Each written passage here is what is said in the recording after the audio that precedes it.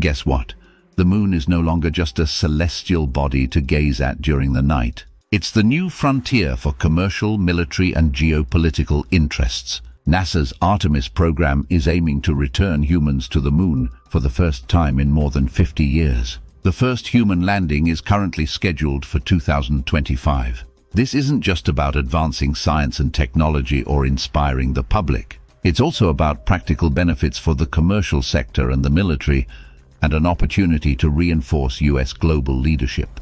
Several companies around the world, including both startups and established aerospace firms, have begun working on missions to the moon. Some, like Japan-based iSpace and US-based Astrobotic, are developing commercial lunar landers and have plans to eventually collect lunar resources, such as water or minerals. For now, efforts to return to the moon are largely funded by government space agencies like NASA or the European Space Agency. However, many experts talk about the growth of a cislunar economy where companies make money through their activities in and around the moon. It will be decades before many activities like mining lunar resources or collecting solar energy on the moon will generate profits. But in the meantime, government space programs can leverage commercial innovation to cut costs, spur innovation and accelerate their programs.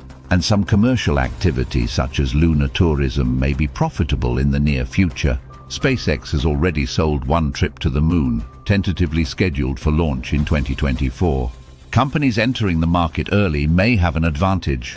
Crowding is unlikely to be an issue in the near term. The moon has a surface area roughly equivalent to the entire Asian continent. Even at the poles, multiple sites offer access to both water ice and solar illumination. However, the first companies on the moon may set precedents for the extent of lunar mining allowed, as well as the safety and sustainability protocols that others coming later may follow. The United Nations has established a working group to examine the legal issues related to using space resources, but it won't finish its first set of proposed principles until 2027. In the meantime, commercial entities are already attempting to land on the moon. So buckle up, space fans. The race to the moon is on, and it's not just about planting a flag anymore. It's about establishing a presence, making a profit, and paving the way for a new era of space exploration.